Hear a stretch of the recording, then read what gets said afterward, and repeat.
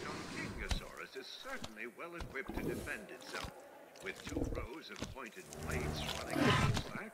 a stupendous spike protruding from each side of its body,